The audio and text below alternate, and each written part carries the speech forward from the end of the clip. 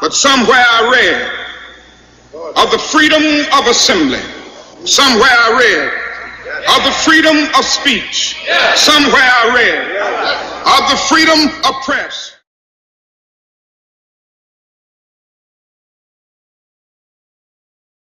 Well, it's a simple gesture that speaks a lot of volume. But is the middle finger protected speech? A woman who believes she was punished after flipping off a Taylor cop took the issue to court. 7 Action reporter Kim Russell tells us how the unusual case impacts your First Amendment rights. Take a look.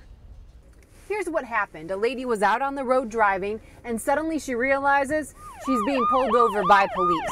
The officer could have given her a ticket for speeding, but instead gave her a non moving violation. But she's still not happy. So as that officer takes off, she gives him the finger.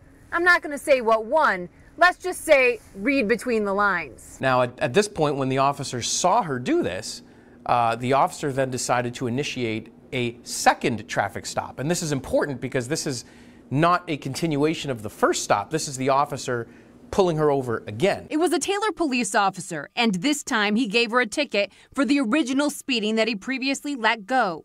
Her attorney argued in court that figuratively, the police officer then gave the First and Fourth Amendments the middle finger.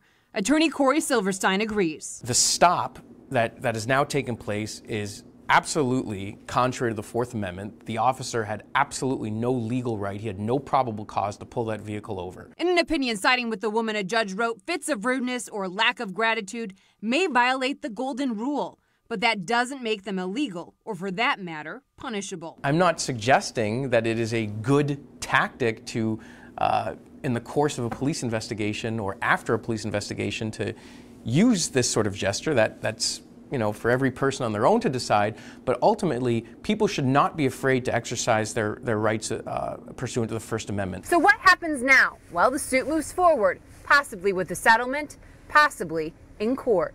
Kim Russell, 7 Action News. Kim, thank you. I'm not worried about anything. I'm not fearing any man.